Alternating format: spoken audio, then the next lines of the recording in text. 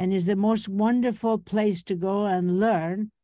And I always said to my students, if you want to be professional, you have to act like professional. You cannot just take one class and that's it, you know it all. You have to experience this work from many different peoples, from different aspects, different ways, and then you create your own work. That's exactly what I did. Um, but I'm teaching the relationship code, it is in my heart. Uh, the relationship code I developed many years ago. Uh, again, I developed it by practicing and practicing and practicing.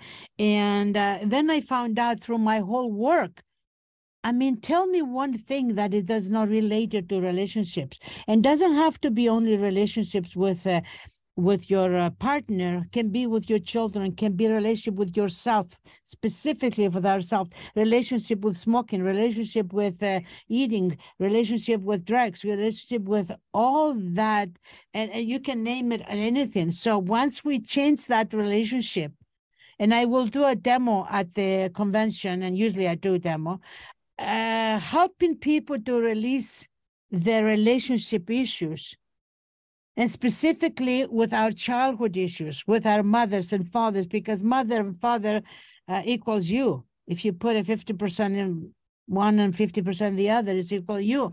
So if we clear those relationships, 20%, 30% of our issues are gone. And then we we any trauma we have, any any issues we have, we work on them through this relationship process. And once you start clearing the relationships between people, everybody's feeling stronger. Once you change that, everything changes. We have to look at our beliefs, we have to look at the emotions we carry and what kind of emotions and beliefs and feelings we have towards certain things.